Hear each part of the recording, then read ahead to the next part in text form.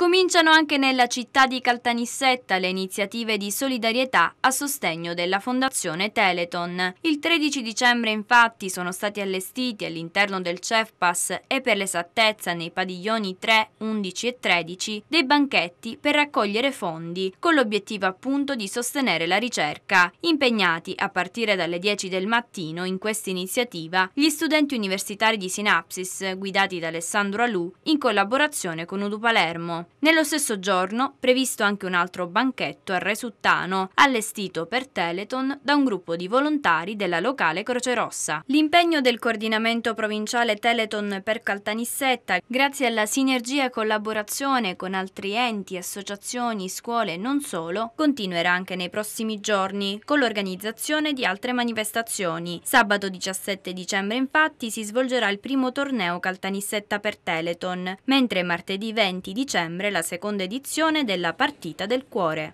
Oggi abbiamo organizzato una raccolta fondi a favore di Teleton. Teleton è una fondazione che si occupa della ricerca contro le, contro le malattie genetiche dal lontano 1990.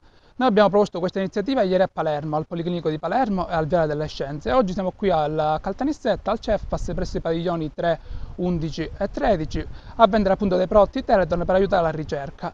Il nostro scopo è quello di sensibilizzare, di sensibilizzare gli studenti di medicina e non solo per, per, aiutare Teleton contro la ricerca delle malattie genetiche. Sì, diciamo che la raccolta è andata abbastanza bene, ora speriamo che durante la pausa pranzo riusciamo a, ad aumentare nostro, la nostra raccolta. Già diciamo che l'importo è abbastanza buono tra la raccolta di ieri a Palermo e quella di oggi che stiamo effettuando a Caltanissetta. A Caltanissetta si svolgerà principalmente oggi dalle 10 alle 19, mentre a Palermo si, si, si è svolta ieri e continuerà, continuerà oggi e domani. Il messaggio per i giovani è che eh, la, la, ricerca aiuta moltissimo contro questo, questo, genere di malattie, infatti grazie alla ricerca sono state sconfitte molte malattie genetiche che da prima non si, conosceva, non si conoscevano appunto le cure contro queste malattie e che appunto dobbiamo aiutare la ricerca affinché eh, si, si riescano a sconfiggere queste malattie rare, soprattutto in Italia dove appunto la ricerca non è per nulla considerata.